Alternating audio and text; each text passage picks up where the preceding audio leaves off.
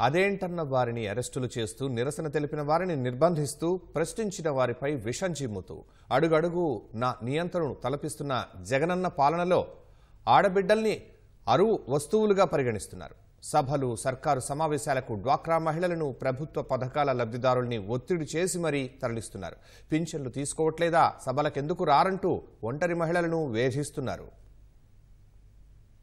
కాదండి. అసలు మనకి ఆ వాటితో సంబంధం ఏముందండి? ఆ గ్రూ ఆ మీటింగ్ మీటింగ్లకు కూడా మమ్మల్ని మమ్మల్ని రమ్మంటున్నారు అసలు.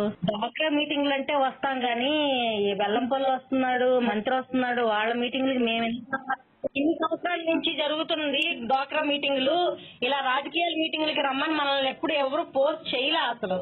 ఏ మీటింగ్లకి మనకి ఏదైనా ఏంటంటే గ్రూప్ మీటింగ్ వచ్చాం. గ్రూప్ మీటింగ్లకు వచ్చాం. లేదంటే ఏదన్నా పలానా దానికి సంతకాలు కావాలంటేనో లేకపోతే ఏదైనా లోన్ గురించి మాట్లాడాలంటేనో వస్తాం కానీ వాళ్ళు ఏదో గడప గడపకి తిరుగుతున్నారండి. మీరు దానికి రెండేనంటే అది ఎంతవరకు కరెక్ట్ మీరు ఆలోచించండి అసలు? మన గ్రూప్ మీటింగ్లకి అయితే వస్తాం కానీ వాళ్ళు వస్తున్నారు రండి వీళ్ళు వస్తున్నారు రండి అంటే మేము ఎట్లా వస్తామని అడుగుతున్నారు నన్ను. ఇది ముఖ్యమంత్రి మొదలుకుని వైకాపా నాయకుల సభలు సమావేశాలకు డ్వాక్రా మహిళల్ని బలవంతంగా తరలిస్తున్న తీరు. గతంలో మాజీ మంత్రి వెల్లింపల్లి శ్రీనివాసరావు పర్యటనకు డ్వాక్రా మహిళల్ని తీసుకురావాలంటూ వైకాపా నాయకుల్లో వారి ఒత్తిళ్ళకు తలొగ్గిన అధికారుల్లో హుకుం జారీ చేయడంపై పెల్లుబుకిన ఆక్రోశం. వైకాపా సభలు జరిగే ప్రతి చోట ఇదే పరిస్థితి. డ్వాక్రా సంఘాల మహిళలను అధికార పార్టీ రాజకీయ సభలకు తరలివచ్చే ముడి సరుకుగా మార్చేసింది. ఊరు మండలం జిల్లా రాష్ట్రం ఎక్కడ సభలున్నా ఆటోలలో వ్యాన్లలో కుక్కేసి తెస్తున్నారు. రానని మొండికేశారో ఇక అంతే. సంక్షేమ పథకాలు కోతేస్తామని బెదిరిస్తున్నారు. పోనీ ఎగ్గొడదామా అంటే ఎవరు వచ్చారో ఎవరు రాలేదో నోట్ చేసుకుంటాం. లేదంటే సభ వద్ద సెల్ఫీ తీసుకుని ఆ ఫోటోను వాట్సాప్ ద్వారా పంపాలనే వరకు పైత్యం వెళ్ళింది. అలాగైతేనే మెప్మా రిసోర్స్ పర్సన్లు వాలంటీర్లు రికార్డు చేస్తారు. ఇలాంటి బెదిరింపులకు భయపడి కొందరు డ్వాక్రా మహిళలు సభకు రాగానే సెల్ఫీ తీసుకుని ఫోటోను పంపి జారుకుంటున్నారు. అందుకే వైకప్ప చేస్తున్న సామాజిక సాధికార సభల్లో కాసేపటికే కుర్చీలన్నీ ఖాళీ అవుతున్నాయి.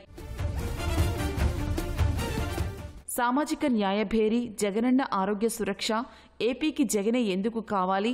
సామాజిక సాధికార యాత్ర మూడు రాజధానులకు మద్దతుగా వైకాపా ఆధ్వర్యంలో చేపట్టిన గర్జన సభలు ఇలా ఎన్నో రాజకీయ ప్రచార కార్యక్రమాలకు మొదటిగా తరలిస్తోంది డ్వాక్రా మహిళలనే. గడప గడపకు మన ప్రభుత్వం పేరుతో ఎమ్మెల్యేలు ఇంటింటికి తిరుగుతున్నప్పుడు వారి వెనుక డ్వాక్రా సంఘాల మహిళలు ఉండాల్సిందేనని హుకుం జారీ చేస్తున్నారు. ఆడబిడ్డల్ని రోడ్లపైకి తెచ్చి వారి స్వాభిమానాన్ని దెబ్బతీస్తున్నారు. ముఖ్యమంత్రి సభలుంటే చాలు. పొద్దు పొద్దున్నే డ్వాక్రా మహిళలను పింఛన్ లబ్ధిదారులను సభాస్థలకి తరలిస్తున్నారు. సభ పూర్తయ్యేదాకా బయటకు వెళ్ళకుండా పోలీసులతో మూడంచెల బారికేడ్లు పెట్టి కట్టడి చేస్తున్నారు. జగన్ వచ్చేదాకా ఉక్కపోతతో ఉక్కిరిబిక్కిరవ్వాల్సిందే కొందరైతే గేట్లు తోసుకునో గోలు దూకో బయటపడుతున్నారు. జగన్ ప్రాపకం కోసం మహిళల్ని అంతలా హింసించాలా అనే ప్రశ్న తలెత్తుతోంది. సభలకు రాకుంటే రుణమాఫీ డబ్బు ఇవ్వం కొత్త రుణాలు రాకుండా చేస్తాం అంటూ ఆయా డ్వాక్రా సంఘాల మహిళలను బ్లాక్మెయిల్ చేస్తున్నారు. గతేడాది విశాఖ పర్యటనకు వచ్చిన ప్రధాని మోదీని ప్రసన్నం చేసుకునేందుకు వైకాపా పెద్ద ఎత్తున జన సమీకరణ చేసింది. ప్రధాని సభకు రాకపోతే ఇళ్ళకు నీటి సరఫరా నిలిపివేస్తామని బెదిరించింది. భీమిలి మండల పరిధిలో అన్నంత పని చేసి మహిళలను వైకాపా నాయకులు సభకు తరలించారు. ఏ ప్రాంతం నుంచి ఎంతమంది మహిళలను తరలించాలనే దానిపై బీఏఓలు ఆర్పీలకు లక్ష్యాలను నిర్దేశిస్తున్నారు. ఇంత చేసినా స్వయం సహాయక సంఘాలకు జగన్ ప్రత్యేకించి చేసిన మేలేమీ లేదు. నలభై ఐదు నుంచి అరవై ఏళ్ళ మధ్య ఉన్న ఎస్సీ ఎస్టీ బీసీ మైనారిటీ మహిళలకు ఏడాదికి పద్దెనిమిది వేల ఏడు వందల యాభై రూపాయలు చొప్పున చేయుత కింద సాయం అందిస్తామని చెప్పి దానికి పలు నిబంధనలు పెట్టి లబ్ధిదారుల సంఖ్యని ఏటికేడు తగ్గిస్తున్నారు.